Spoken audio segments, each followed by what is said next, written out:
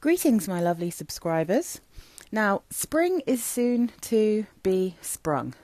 It hasn't really reached me here in the UK yet when I'm actually filming this, but I'm kind of preparing for it. I've already started slipping in a few more floral perfumes into my rotation. But I do actually have some things that I think are really great for spring.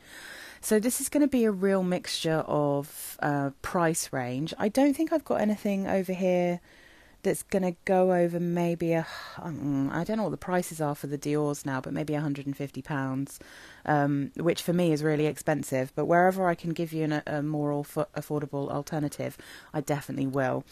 But there are a couple of things I just think, and it tends to be Dior, to be honest.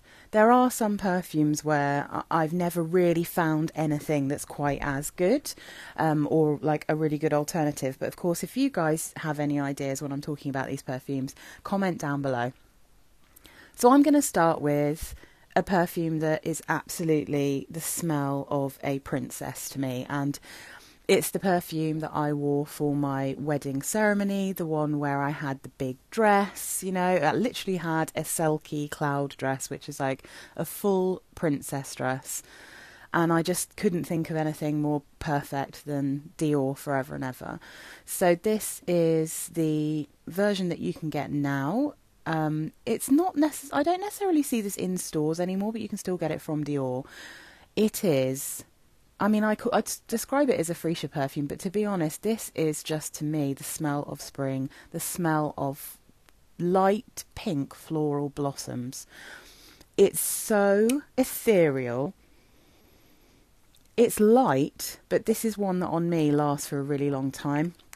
I have no problem here with longevity. I can spray a decent amount without it getting overpowering and it is just honestly it smells like angels. It's so beautiful. So the notes that they give you for this version which is the Le Creation uh, Creations I think it's called Creations de Monsieur Dior. So they only give you I think for that one they just give you freesia rose tincture of rose they say and jasmine. But this one this one's been around before and it wasn't in a bottle that was as classy as this back in the day, which I think I had a little miniature of if I remember correctly. Um, so I'm going to give you the notes from the older bottle because I think it's a better description of the general smell. So the top notes are freesia, water jasmine, and ivy. Middle notes are rose, almond, blossom, and geranium. The base notes are nutmeg, musk, and vanilla. But it's just so blossomy. It's so very delicate, tiny petals. That's what this smells like. It's so glorious, and I've only ever smelt one thing that smells like it, and it is actually a dupe of it. So if you and you can unfortunately only get it if you live in the UK. So if you're outside of the UK, if you can possibly afford it, I definitely suggest this because everything else that's ever been compared to it on Fragrantica, um, anything that I've been able to smell anyway, does not actually smell anything like this to me. But in the UK, Superdrug have a dupe brand called um, it's called Atelier something, and they have one called Vanille Vanille Blush. So I actually have a bottle of that. It doesn't last anywhere near as long as this, but it's really very similar. It's a decent dupe. It's maybe slightly more woody. Um, and I have a bottle of that that I keep at my parents' house, so that's one of the things that I wear when I'm there. So that's a really good alternative if you can find it. But this, oh, Forever and ever, I will have you forever and ever. Truly the smell of spring. Talking of the smell of spring. so this is Starfruit and White Flowers from 4711 Acqua Colonia range.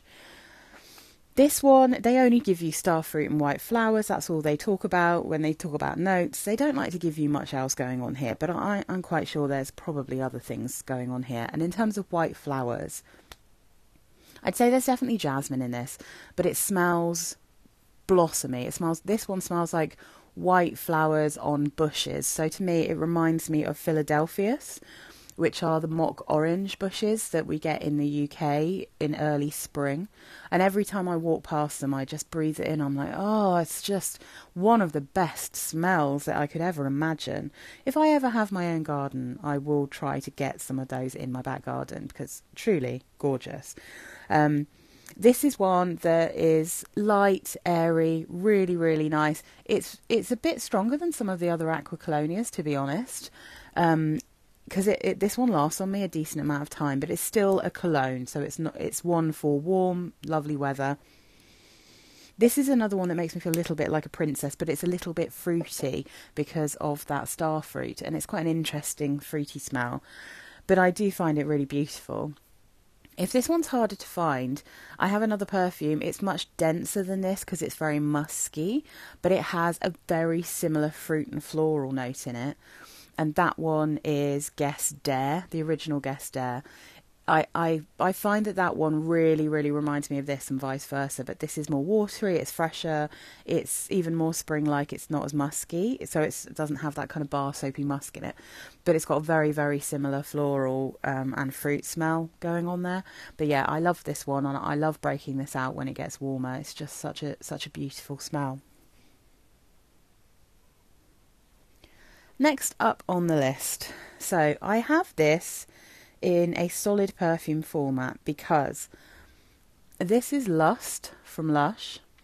So this is very random for me because I really struggle with jasmine. But this is the jasmine perfume that I think is the closest to smelling like the, the jasmine that that grows in my neighbour's back garden. You kind of what the smell of it wafts up um, during early spring in, in through our back room. And I just, when I smelt lust the first time, I just lost my mind and I was like, that is so glorious. But it's also a very sexy floral, this one. Um, but the perfume of it is actually a little bit too strong for me to cope with. But I adore the smell. So this Oh, I, I'd say in, in the solid format, you get a little bit more fruitiness in this. It almost smells a little bit like there's some kind of mandarin orange or something in here. But on the actual notes, it's jasmine. Yes, definitely. A very beautiful, natural, really, like, really strong, very sexy jasmine. Um, but then there's a little bit of rose, a little bit of vanilla, vanilla, a little bit of sandalwood. But it's the ylang ylang in here that changes this to smell ever so slightly um, waxy, like even in the perfume, not just in the solid form. Um, but it's it's just it's I, I, I just compared it to a sultry night where a, a woman's taking a, a very hot bath and it's all steamy and there's loads of jasmine everywhere. It's really so seductive and beautiful, but it is really the nicest jasmine I've ever smelt. And these are only ten pounds for these little guys. Um, so if you, if but if you prefer stronger perfumes, I cannot recommend the actual perfume enough because it is an absolute beast. It's gorgeous. If if you get the actual perfume, you you only need to spray that once in the in the whole day. It's so strong. So this is one that I'm not entirely sure would be very easy to find, um, but it is kind of sitting in for something else that you could get as an alternative. So this is Matsu by Masaki Paris. So this is a beautiful lilac perfume and it is very strong lilac bush smell. It has a gorgeous, natural lilac scent, a little bit of kind of soapiness, and a gorgeous kind of creaminess from almond. So, this is the perfume that I got because I did have a bottle of um, a drop d'Issey by Issey Miyake. I loved the smell of that perfume. It's absolutely glorious, but the ambroxan in it really caused me problems. So I had a look to see if there was anything like it, and this was compared to it as smelling just like it. So I went and found Matsu, and as it turns out, Matsu's actually been out longer. It came out in 2014, whereas uh, A Drop d'Issey came out in 2021. So this one's been around longer, but honestly, they are they're so similar. So if you don't like ambroxan, then if you can get hold of Matsu, then this is the one. This is definitely the one. If you don't mind ambroxan, it's probably easier to find a drop d'Issey, um, which is also in a very beautiful bottle. It's just really, really glorious. So the, the notes in Matsu Top notes of peach, pink pepper, and rose. Middle notes of lilac, wisteria, star jasmine, and orange blossom. Base notes of musk, almond, and sandalwood. And it's just, honestly, it really does smell just like a beautiful lilac bush. It's just so pretty. Um, and then a drop d'Issey has almond milk, rose, orange blossom, star anise, jasmine, solar notes, lilac, musk, vanilla, ambroxan, and cedar. So as you can see, they they've got some real crossovers. They smell very, very similar. Um, the other good thing about a drop d'Issey, if that's the one you go for, is that it's it lasts forever. It's actually very strong. It's really soapy. It almost smells like a bar of uh, lilac soap. It's absolutely delicious. But yeah, that one lasted on me forever, um, and it was really strong. I didn't need to spray much of it. This one's actually got a decent longevity. It's it's not quite as strong and beastly as that one, but that's probably why this works better for me. And I don't know whether that's the ambroxan. Ambroxan, I think, probably makes things last a bit longer and amps the, the smell up a bit. Gorgeous, though. I can't wait to wear this one. I'm waiting for the weather to warm up a bit. So when it comes to a rose perfume, it's kind of tricky for me because I, I have two in my collection that are kind of quite straight up rose perfumes. One of them is Fleur Fatale by Kim Kardashian, but that one I don't I wouldn't wear it in the spring because I think it doesn't smell good until the weather heats up and that's when that one really blossoms. Um, and we we tend not to get particularly warm springs in the UK, but that's one to bear in mind if you have warm spring times. That one is a bargain, really good. And my but my favourite rose perfume is the same with a lot of people is Stella by Stella McCartney, and you that's impossible to get. I've never really smelled anything too much like it, except for I do think the rose note is quite similar in Fleur Fatale. It's not exactly the same with all the other notes, and it's not as dark smelling. It's not quite as rich smelling but it it definitely I I feel like the the rose in those two perfumes are really similar. But the one I've gone for just because you can actually get it quite easily is white tea eau de parfum. So this is the Elizabeth Arden. This is um it's it is a stronger version of white tea, but this has a they, I think they've called it a recycled rose water or something like that that turns this into a kind of fresh laundry and rose smell. It's still got that white tea scent. Mm, but I definitely get a lot of rose in this one, and I think it's um, a really easy way to wear rose if rose is not your like favorite note, because one of my favourite floral notes in terms of actual flowers is rose. I love the smell of fresh roses, but I think it's almost impossible to find a perfume that actually smells like real roses. I've I, have i have tried a lot, and I tend to be disappointed by how sharp or how sweet they are, and you know that they don't smell very natural. They tend to go that kind of Yardley direction of smelling a bit like a kind of tea rose and not so much like um, some of the roses that I really enjoy the scent of. This is a really easy wear because it still has that white tea DNA.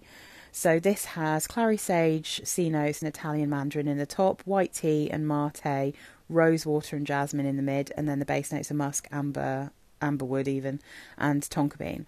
So I find this to be a slightly more feminine and a ever so slightly sweeter very rose forward version of the original white tea. So I think this one's a really good good safe bet. I think it smells really classy, really chic, very pretty, very light, and it's just got that gentle rose. So you're not going to smell, you know, you're not going to smell like an old school rose in this. You know, it's quite modern smelling. So the other roses I have in my collection are a bit more fruity. Um, now these two, unfortunately, are both quite expensive. This this first one's very niche. So this used to be a signature scent of mine, though, for a little while until I um, decided it was just too expensive to continue with that. So I've only got a travel spray of this nowadays. but it is beautiful. This is Viktoria Minya. This is Hedonist, Hedonist Cassis. So, although this is a, a sharp blackcurrant perfume, it also has, to me, quite a dominant dry rose in it. So, the notes here are blackcurrant, grapefruit, and rhubarb in the top. The middle notes are cassis, grass, and Bulgarian rose. And then the base notes are cedar and musk. So I get a beautiful. It's very. It's so dry. If you if you told me there was like a vodka note in this, I would believe you. It is that crisp and dry, um, and it has that green grassiness but the it's got a beautiful dry sort of kind of velvety Bulgarian rose scent in there mixed in with the fruit. You get a, you get quite a lot of blackcurrant and quite a lot of rhubarb. Um, but my experience of actually wearing this is that it really did feel like a rose perfume. A fruity rose perfume. Really really pretty. Um, so what I'll say is that Viktoria Minya is really hard to get hold of, but I mean, the they're they're beautiful bottles, they're beautiful perfumes. The other thing I have that smells quite a lot like this one, but um, more fruity, is a Miller Harris, which is a little bit easier to get hold of. Still not particularly cheap. So this is like, um, this is Lost in the City from Miller Harris, and the Viktoria Minya is drier and it's more blackcurranty. This one, the rhubarb is amped up in it, but it actually has notes that are, that kind of have some crossovers. So you've got blackcurrant, blackcurrant, bergamot, and angelica in the top, and that angelica gives greenness instead of the grass that you get in Viktoria Minya. And then you've got rhubarb, geranium, and rose in the mid. Uh, the base notes are Earl Grey tea, musk, and amber. So it's got it's got dryness from tea as well, but then it's got the rose and geranium, and the geranium makes this rose smell quite dry. So this one, I get quite a lot of rhubarb. So if you don't like rhubarb, probably not the one for you. But I do think that these have a real crossover, and you can often get these little 15 mils. I got mine from TK Maxx for about 12 pounds. So these you can find quite easily for quite cheap, whereas I mean, I you have to get these in a set, but the actual bottles for 40 mil are about 160 pounds of Viktoria Minya. Now you know why I don't wear it as a signature scent anymore. But um, but they're both really beautiful, and I think they're really interesting takes on like a dry rose perfume. So next up we have a tuberose. Now I have um, a Ted Baker tuberose perfume that I really like, which I think is a really good spring tuberose, but you can't get it anymore. It's called um, Extraordinary Woman. I think it's called um, Ted Baker XO or something like that. um, unfortunately, it seems to have disappeared. I checked before I made this. So the one I'm going for is easier to find despite the fact that I don't think it's in production anymore. It just seems to be really easy to get this for cheap. So this is Stella McCartney Stella Pop. Um, and this is a violet and tuberose perfume, but it's also got a decent dose of frangipani. It's got tomato leaf in it, which I do think is absolutely one of the reasons I love this one so much. Um, and it has a kind of sweet, bubblegummy doll head smell in it. so You've probably seen people talk about this one quite a lot. I know that a lot of people really like this one. I know Ksenia really loves this. Um, I do think it smells like Barbie dolls. It's really, really pretty. It's got that vibe to it. It smells this colour. Um, but I get a lot of violet in this. So this is top notes of tomato leaf, green mandarin, violet leaf, tuberose frangipani, uh, violet, and base notes of musk, sandalwood, and cedar. You get a decent amount of sandalwood too. Um, this is just a beautiful, pretty, girly, lovely perfume. It's quite sweet. I think it really is best in, in warm-ish weather. If you can find a rollerball of this, that's the strongest formulation I've found of Stella Pop. Um, for some people, I think this would be too dull heady. It would have too much of that kind of strange plasticky smell, which I love myself. Um, and it might be a bit too sweet. And if that is the case, then Stella Pop Bluebell is actually too sharp for me. But it is, it's very similar to this, but if you can imagine, it's Stella Pop without that too much of that doll head smell and a, a dose of a kind of lovely bluebell scent, which it's just for some reason that one. I think it's because it's so similar to this and it confuses me that it's not as sweet. Um, and because I love this one, I, I I just don't wear that one. But this, it, I just this is a love. This is a love. I think it's gorgeous. It's got a silly sprayer, but I do love this bottle. I think it looks cool. Lovely tuberose and violet. Mmm. So this one, this one's going to be hard to find, but you can go for a few from this same range. Let me just. Mmm. Yeah. This is an osmanthus perfume, and it's a relatively pure osmanthus, this one. A musky osmanthus. So this is Hugo Boss, and this is the scent for her. This is the pure accord flanker. So I've had loads of these, but this is one that I've kept. Um, this just happened to be my favourite out of all of the ones that I've had. Um, this just lists bergamot, osmanthus, and musk, and it, it, it does smell quite simple. It is like a stripped back version of the scent for her. But it's really pretty. Um, it does smell very osmanthusy, so it's got that kind of slight peachy floral smell. But the the probably the reason this works so well for me is that it doesn't actually have additional peach and although I, like the scent for her range is a, is a peach that I actually really appreciate and I think they've done really nicely. Sometimes I find peach a bit cloying, so it depends kind of what else is mixed with it and the the I like a really watery peach. Um, that tends to work quite well for me. Um, like a juicy, watery peach. Like peach juice on ice, you know, that kind of smell. If it's a bit more kind of condensed, you know, if it's like a concentrated peach smell, I struggle a bit with it. But this is incredibly similar to the scent for her EDT and the scent for her um, just the original um, version, and also has quite a few crossovers with with the other one that I had for a while, which is the Intense they all have that lovely peachy osmanthus, so you could get any of them easily and it would be lovely still, you know. But I, I really like this one for spring. I think it's a really easy, um, yummy perfume. I do think the scent for her range is like really good work perfumes. They're really inoffensive, really pretty, light, easy to wear. Um, I just think they're really nice. So I, I do like osmanthus, and this is an uh, this is a good osmanthus, I'd say. So the other thing to mention about this one is that La Rive do have a dupe.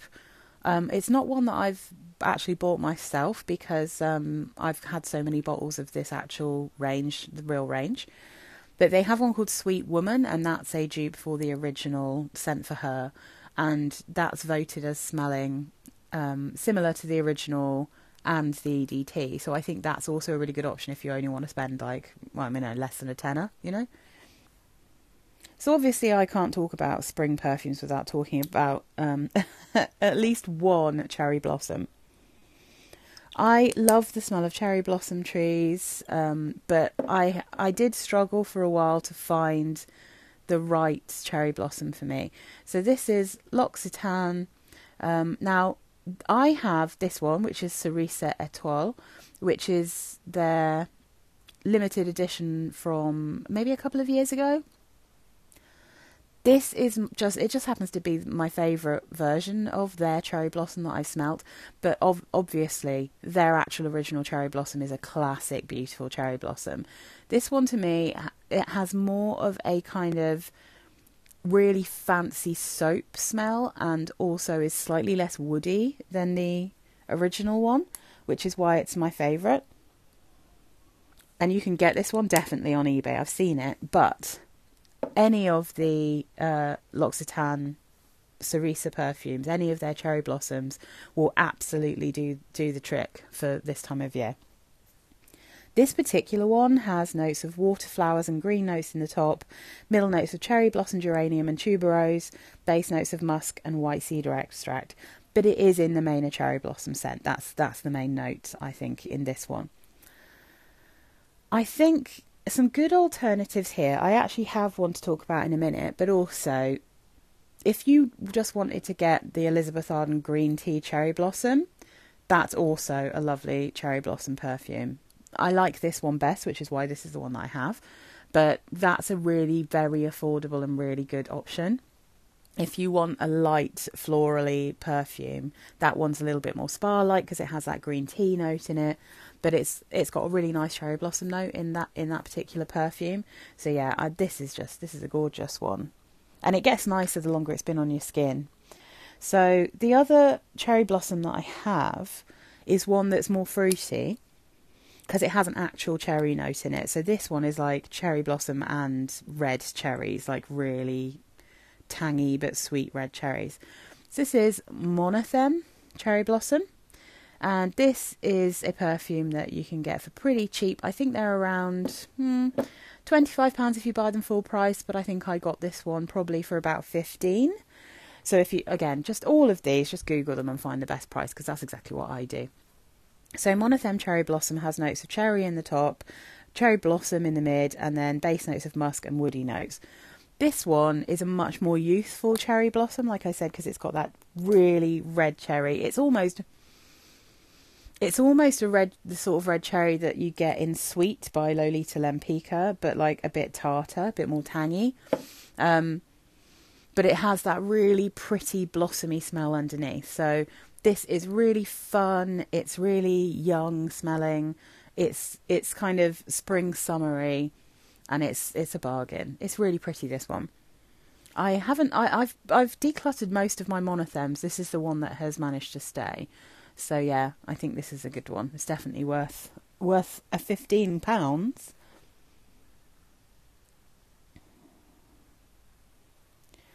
So I have a few orchid based perfumes and for some reason they all seem to be getting discontinued, so they're hard to find. So I decided to go for this one, which is a fruity fruity perfume. A f- well, a fruity floral, but it's got a really good orchid note in it. So this is Guess Girl. Normally this has a big flower top, but this was a um, tester bottle, so it doesn't have that.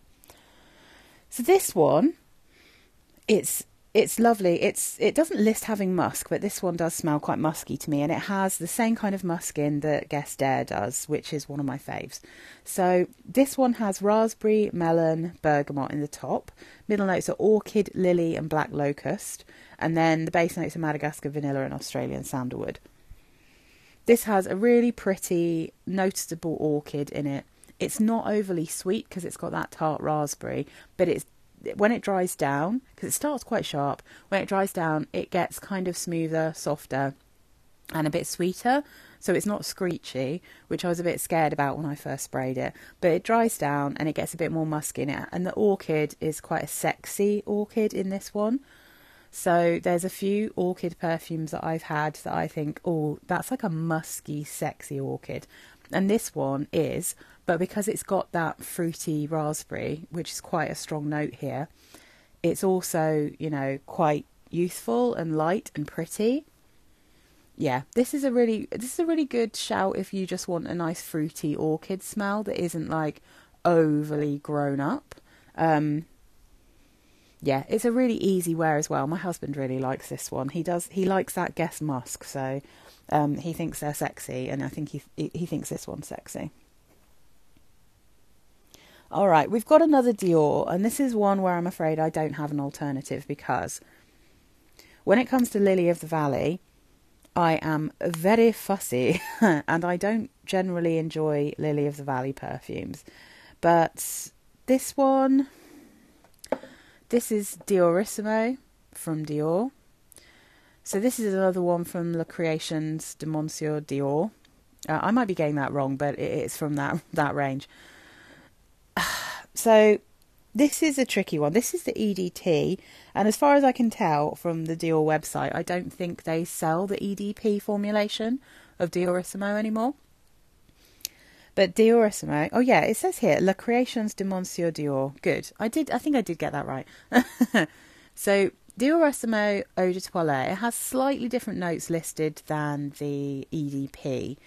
Um, but the thing that really sells this one to me is that although it's a very dominantly Lily of the Valley scent, it has a ylang ylang note that gives it a slight sweet creaminess. And this is one of the few Lily of the Valley perfumes I've ever smelt that doesn't smell too old fashioned to me and too sharp or screechy. I really struggle with most um, Lily of the Valley perfumes, and if that's one of the dominant notes, it just goes too far into white floral for me, and I'm not really keen on classic white florals. But this, I mean, this is a true classic white floral, but it, it's got a spring like blossomy sweetness in there and a kind of gentle creaminess from that ylang ylang. I get a little bit more of that jasmine as it dries down, but it doesn't ever overtake the perfume, which is good for me because, as I said, I'm quite fussy about jasmine. Um, but it's soft and it's pretty, and it. I mean, it's it's it's slightly mature because I think a lot of white florals are slightly mature um, scent profile just because they are just so classic. Obviously, so many perfumes, especially in like the 80s and 90s, were like white floral bombs. This doesn't smell like a bomb. This is subtle, it's gentle, it's quite smooth. It's the perfect level of sweetness without, you know, it's not so sweet it gets sickly, but it's not so dry that it's like sharp.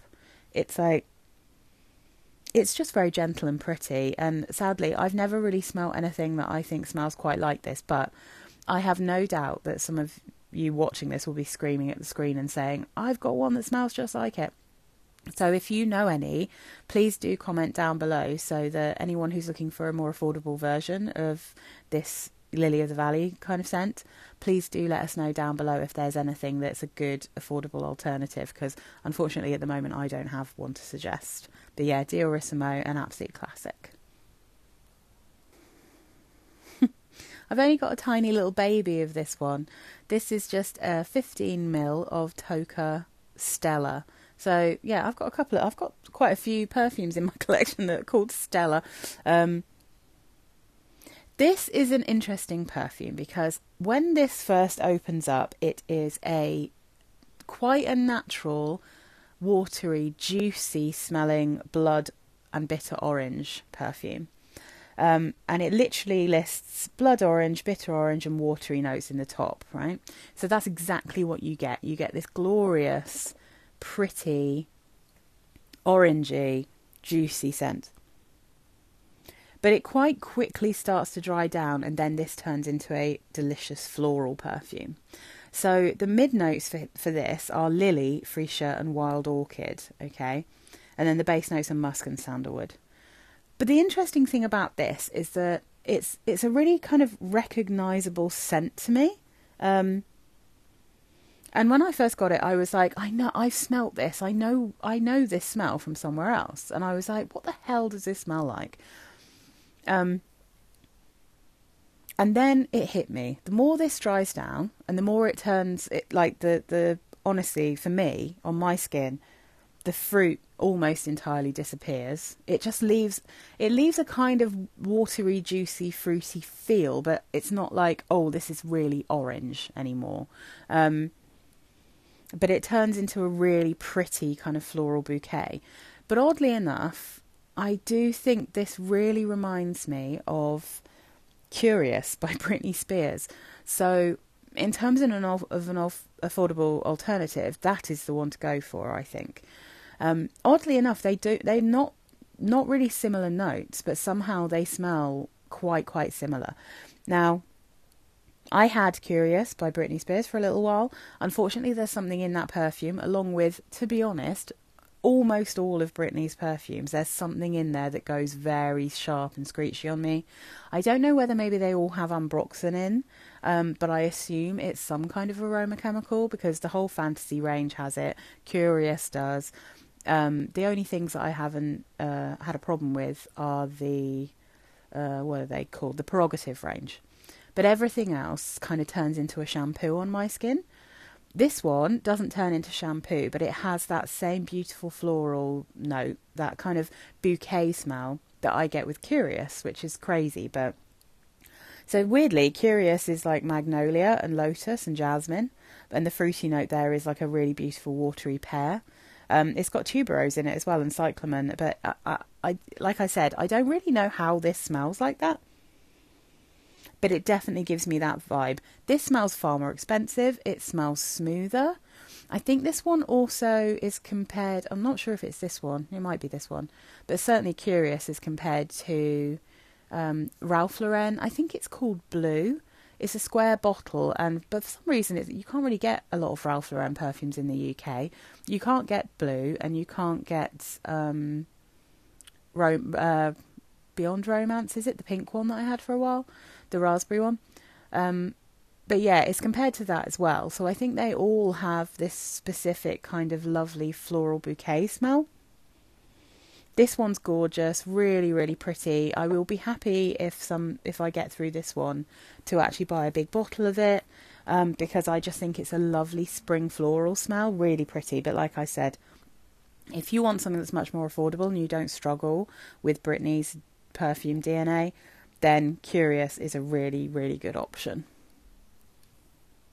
So we've only got a few left, so let's talk about another rose perfume. This also was a signature scent of mine for a short time. Um, this is not the same bottle. Oh, this is a fruity rose. Mmm. Gorgeous. so this is Jean Charles Jean Charles Brosseau, and this is Fleur Fleurs d'Ombre Rose not ombre rose. Ombre rose is a classic powdery rose. Fleurs d'Ombre rose is a gorgeous modern rose with a big dose of juicy sweet fruits. There's a lot of notes in this perfume. So let's have let's have a look at them. There's rhubarb, tangerine, apple, melon, orange, blackcurrant, grapefruit, and bergamot in the top. The middle notes are rose, peach, freesia, mango, and jasmine. And the base notes are orris root, musk, vetiver, sandalwood, and amber. There's a lot going on. So it's like peach, mango, blackcurrant, rose. That's mainly what I'm getting here. And I, I kind of, when I used to wear this back in, I think probably maybe 2007 or 8 or something like that, if I'm getting my years right, this one I always thought smelt like fresh a fresh bunch of pink roses and pink jelly babies.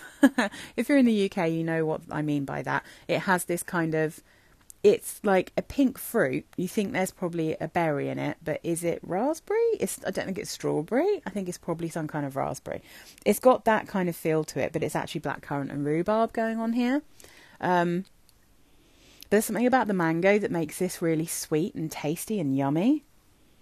But it's got a really pretty, um, like a really beautiful rose water kind of rose in here. Really fresh, really pretty, very girly, really, really nice. This is another one that I took away when we got married because I just feel like this is in the same way. It, oh, it's not quite the same experience of wearing Forever and Ever because Forever and Ever by Dior is far less fruity and much more floral. But I kind of put them in the same slightly princessy scent. Um, Forever and Ever is a bit more of a mature, pure princess. This one's a bit more of a playful princess, but they both make me feel princessy. So this was another one that came away with me for that wedding week. Beautiful. But what I'll say is, um, although this next one I think is discontinued, if you can get it, it, it kind of gives me similar feels because it's a peachy rose. So it gives this fruity rose vibe, but. Mm. So if you can get hold of this tiny little cheap gem, this is um, Jennifer Lopez. This is Love at First Glow. It's missing its little thing because I, I never like those on the glow bottle, so I always take them off. But I love the shape of the glow bottles. This is just a tiny little 30 ml. I don't think you can get Love at First Glow in anything bigger than a 30 ml, but I think that when I've worn this perfume, it feels like I'm wearing a a soap of this. So um, it does share some notes. So this Love at First Sight is peach, neroli, and bergamot. The middle notes are rose, freesia, and jasmine, and the base notes are musk, woodsy notes, and vanilla. So you've got a, a really noticeable kind of watery, peachy fruit smell, and then you've got that rose watery smell and you've got that hint of freesia like you've got in the other one. But then you've got like a real musk of quite an obvious musk in this one that makes it smell like a bar soap. So yeah, this one I'm just shouting out because Jean Charles Brosseau is a bit more expensive, um, but this one I think is also a really nice, slightly fruity rose perfume. I really enjoy this one. I think it gets short shrift generally, but I've it's one that when I first smelled it, I was like, eh, it's all right. But when I actually wore it, I kind of fell in love with it. I almost considered getting a backup, and then I got a grip of myself because I've got over 200 perfumes, so I don't need backups. so let's finish with one that I love and that my husband absolutely loves as well. Oh, the joy of this. I'm going to spray it out. Mmm. Springtime in the Mediterranean. So this, it always goes like really blue on my iPad, but this is much more turquoise in real life. This is Elizabeth Arden Mediterranean. I love this perfume. I think it, I love the bottle as well. It's so delicious. So this is another, I mean, it doesn't actually list lilac, but lilac and wisteria I think smells very, very similar. It's a powdery purple floral. So it's got that lilac-y smell from wisteria, but it's got a delicious, juicy plum note in this. It's and it's also got what I think is supposed to be like a slight sea note in it. It's got a very slight salty sea note in this. I'm very fussy about salt, but I feel like this does actually smell like you're sitting in maybe like a restaurant surrounded by plum trees, wisteria, um, trees and um, you're on the coast next to the Mediterranean Sea. It's beautiful. Mm. So this is plum, Sicilian mandarin, and peach in the top. Middle notes are wisteria, magnolia, and orchid. Base notes are musk, sandalwood, and amber. Um, I just, I, I, so love this perfume. Um, I wore it recently. It's the first real spring perfume that I've worn because I just couldn't wait anymore. I was just like, it was a cold day, but I still wore it. It lasts quite well in cold weather, actually. I could smell this all day. Um, but this, my husband just really likes this one. He fell for this straight away. So it's kind of an easier purple floral to wear than things like a drop d'Issey and Matsu because it's got that kind of fruity note that tones it down a bit. So obviously with this kind of thing, it's a very dense, um, floral lilac-y wisteria smell, like very very dense, smells like the bushes. Whereas this one just smells like you're near those bushes. There's other things going on in it. I got this for about twenty pounds. Um, you can get this perfume for quite cheap. I'm not sure it's in production anymore, so I'd say get it now while you can. But I absolutely adore Mediterranean. This is one that it, I might actually, if I if I realise it's getting scarce, I might actually get a backup bottle of this because I feel like I'm going to go ham on this in the spring. It's fabulous outdoors and indoors. It's just beautiful. So yeah, I mean, I think I've I started with a real favorite and I'm ending with a real favorite here. So I hope that this was helpful. I tried not to talk too much about stuff that was actually completely impossible to get. Um, if you have any favourite spring florals, especially if you know any good affordable alternatives to what I've talked about, or just any good affordable perfumes generally, please let me know down below. I hope you enjoyed this and that there was some stuff in here that you uh, that you're interested in. Bye, guys.